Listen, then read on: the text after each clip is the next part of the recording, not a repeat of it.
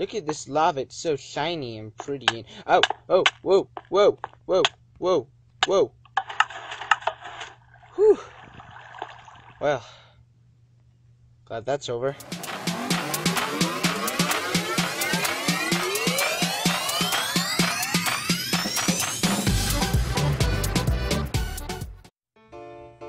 Well, hello everybody, and welcome back to another episode of Minecraft PE Redstone.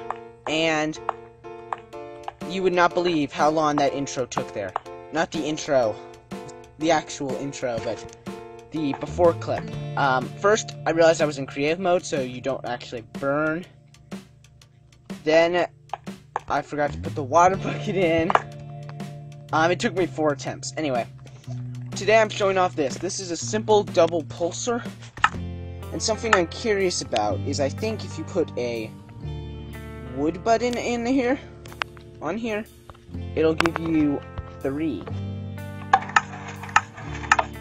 Oh, it will. Oh, that's so cool. So this is customizable from a 2 to 3 here. So it can go from 2 pulses to 3 pulses just by switching the button. So yeah. Uh, anyway, I'm going to go on to the tutorial section and show you how to build this thing. So we're going to build it right next to the original, I think. Um, here we go. Um, and just go like that. So, five across and three high. And this one is going to be a double pulser. Remember, just switch out the button if you want three. And we're going to put that there. Next, you're going to need a dispenser right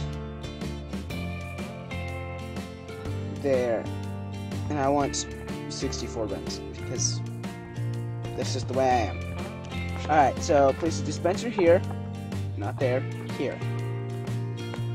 And on the back here, you're going to place a block, redstone dust, sticky piston facing upward, block, two more blocks, redstone dust, redstone dust, and just run it around like this, I believe. And yeah, just make sure you have the stone button there. Next, the final thing you're going to want to do is get yourself, why am I going to chat? Get yourself a water bucket and pop it in there. So when you press the button,